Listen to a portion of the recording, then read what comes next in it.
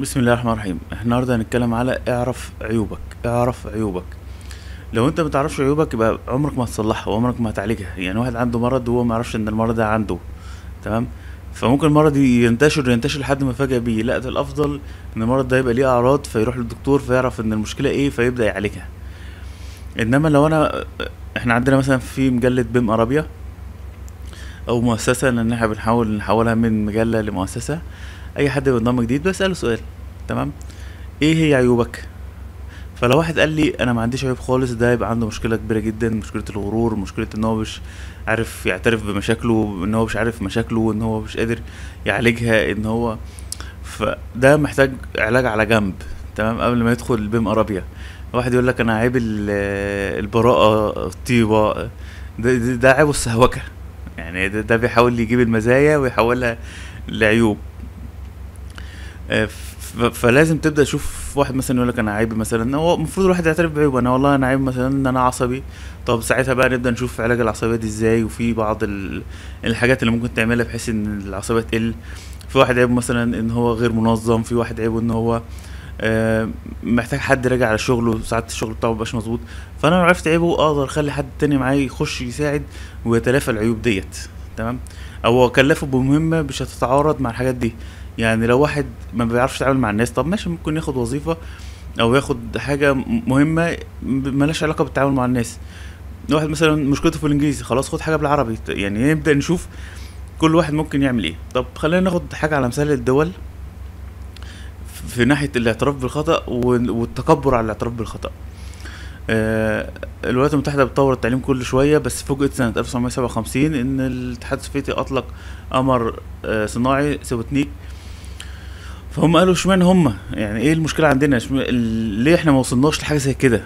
فخلاص من السنة دي من 1957 بدأوا يعملوا مؤتمرات nation at risk أمة في خطر وقعدوا يناقشوا الموضوع ديت وجابوا تقارير رهيبة جدا agenda of action وبعد كده تقرير everybody counts يعني بدأ كل شوية يعترفوا.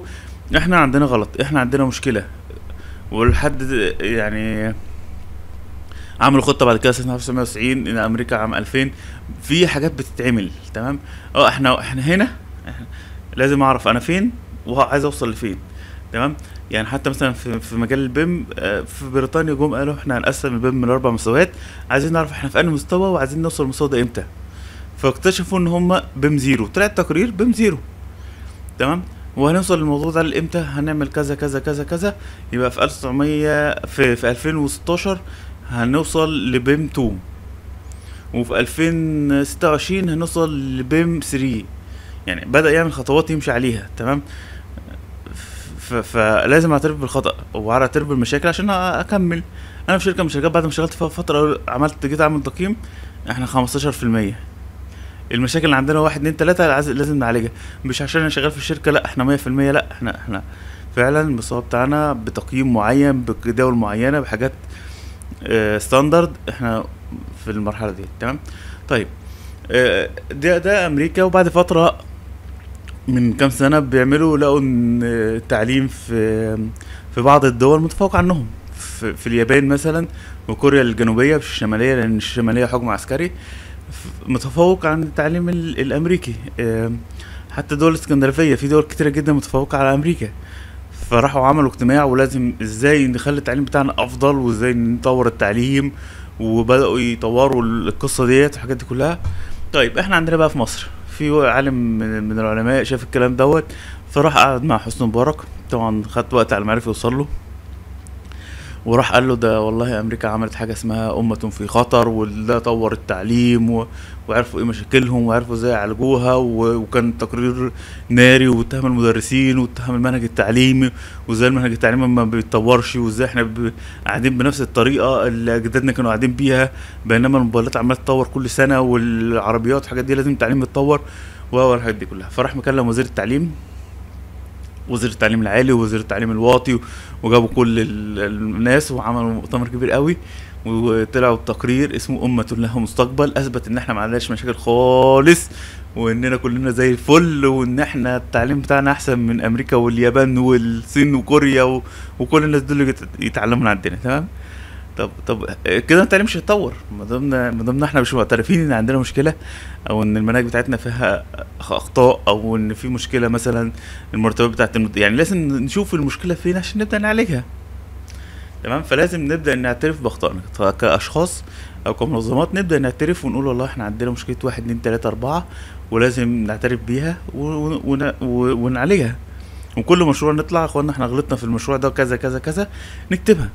تمام؟ والا مش هنعرف أخطائك. تعرف أخطائك منين؟ اقعد مع نفسك بصدق وابدأ اكتب الحاجات ديت وشوفها. شوف واحد انت عايز بتعتبره قدوة أو انت عايز توصل ليه وشوف إيه الحاجات اللي عنده مش عندك من غير حقد ومن غير حاجة خالص من غير ما تحسده ومن غير ما تبلغ عنه البوليس وتقول إن هو حك...